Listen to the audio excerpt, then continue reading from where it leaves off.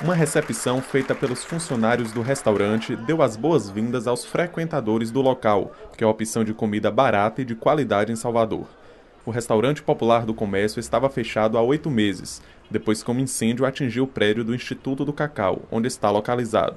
Eu passava aqui e ficava triste, porque eu não comia aqui, eu estou amando, viu? Tanto quem está na rua, tanto quem está em falta de condições financeiras, tem um privilégio de se, de se alimentar. São oferecidas 2.300 refeições diariamente a um real. Ambulantes, desempregados e moradores de rua têm à disposição feijão, arroz, carne, batata, além de sobremesa e refresco. O restaurante popular funciona também no bairro da Liberdade, onde distribui 2 mil refeições por dia com cardápio nutritivo e balanceado. Muitos usuários nossos, aqui no restaurante popular é onde se faz a única refeição, muitas vezes a única refeição do dia.